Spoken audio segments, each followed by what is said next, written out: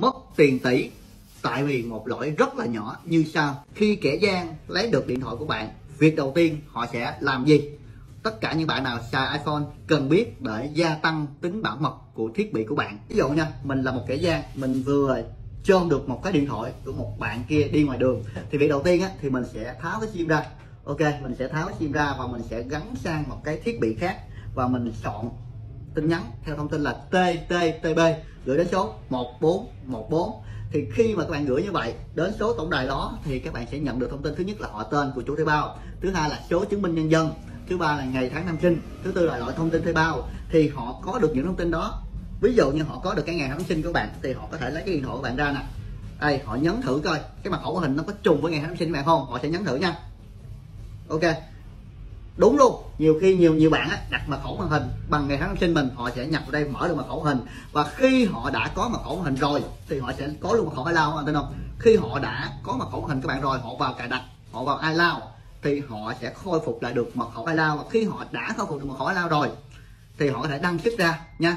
Khi họ đã vào được cái máy của bạn rồi ngoài cái việc mà đăng xuất iCloud ra còn tiền trong tài khoản ngân hàng của bạn nhiều cái app trong đây của bạn bảo mật, họ có thể là lên facebook của bạn, họ nhắn tin họ mượn tiền, họ có thể vào app ngân hàng của bạn, họ chuyển tiền, họ lấy hết tiền của bạn, họ rút hết tiền ra, tại sao họ có sim, họ có otp rồi, họ làm được hết tất cả những thứ đó luôn. Vậy nên, một vấn đề ở đây, tuyệt đối không được đặt mật khẩu màn hình giống với ngày tháng năm sinh, hoặc là giống với số chứng minh nhân dân, hoặc là giống với cái số điện thoại nha các bạn. Đó là cái đầu tiên các bạn lưu ý. Rồi, một cái điện thoại mà họ đã mở được iCloud, thay vì họ ăn cướp của bạn cái điện thoại đi họ bán sát được khoảng 4 5 triệu, nhưng khi mà mở được iCloud họ có thể bán 15 16 triệu. Bên cạnh đó, tiền khoản ngân hàng của bạn họ lấy hết luôn. Và có khi các bạn có vài tỷ trong tài khoản. Đấy, thì lúc đó lại rất là căng nha. Rồi thì một cách để giúp các bạn học nữa là tốt nhất, vứt cái chiêu lý đi.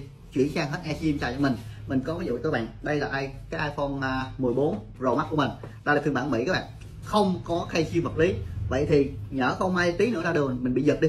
Thì cái người mà giật cái điện thoại này cũng không làm gì hết đâu khai sim đâu, họ có muốn mở ra. Cũng không được, tại vì không khai sim mình xài e sim tốt nhất là các bạn nên xài e sim tại vì sim vật lý này là cái lỗ hổng bảo mật rất là cao. Vậy nên các bạn tuyệt đối chuyển xe sim xài giúp mình nha. Đó là một trong những cái cách giúp các bạn bảo mật thiết bị của bạn, cũng như là bảo vệ tài sản của bạn trên chiếc iPhone. Nhớ chia sẻ để mọi người cùng biết nhé.